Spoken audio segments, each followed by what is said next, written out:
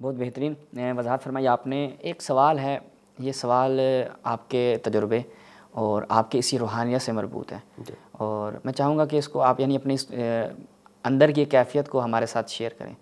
Karbala भी गए Najaf भी गए काजमैन सामर्रा भी ज़्यारत की। वो कौन सा ऐसा मकाम था कि जहाँ पे आपको एक जो आपकी कैफियत है अंदर की कैफियत उसने यानी आप उस मकाम पे मौजूद थे उस शख्सियत के मकबरे पे, उसके कबर के, उसके हुजूर मौजूद थे और वो कैफियत बाकी मकामात की कैफियतों से यकसर जुदा थी।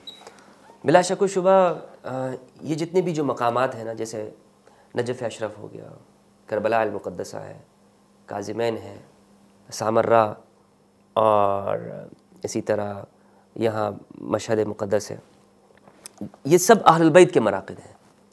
अहलबैत हैं यहाँ पर।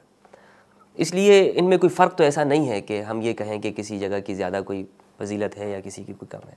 इमाम अली की जो बात है वो बहुत अलग है। इमाम अली सलाम अहलबैत में से पहले नंबर में है हम्म।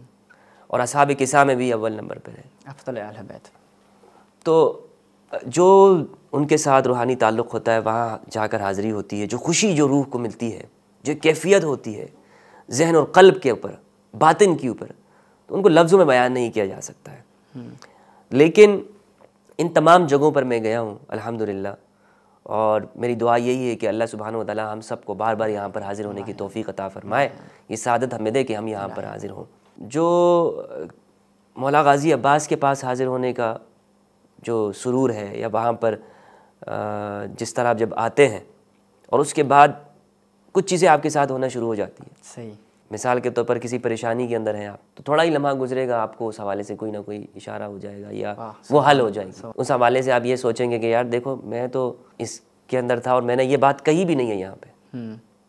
और ये मकबूल हो गई मेरी ये ख्वाहिश कबूल हो गई। और इसी तरह अगर आप करबला मुक़दसा में इमाम हुसैन सलाम के पास आते हैं तो वहाँ कैफियत एक अलग है। वहाँ अगर आप ठहरे हुए हैं तो आपके अंदर जो इसतराब भी होता है कभी कभार एक जब आप उसको याद करते हैं उस मौके के ऊपर क्योंकि आप वहाँ पे करीब बैठे हुए हैं। और लेकिन मुझे इन तमाम मकाम के अंदर अगर मैं ये बात आपके नाजरीन के साथ में शेयर करना चाहूँ कि जो बातिन को जो एक सुरूर की कैफियत जो मेरे साथ जो ता, जो पेश है।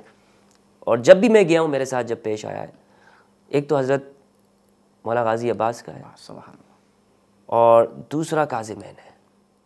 इमाम मूसा काजिम सलाम के मरकत पर जब मैं हाज़िरी देता हूँ तो वहाँ पर जो मेरी कैफियत होती है वो सब जगहों से बिल्कुल मुख्तलिफ़ होती है। सुबहान यानी उसमें जो सुरूर है वहाँ पे जो ठहराव है और उनका जो रब्त बन जाता है हम्म।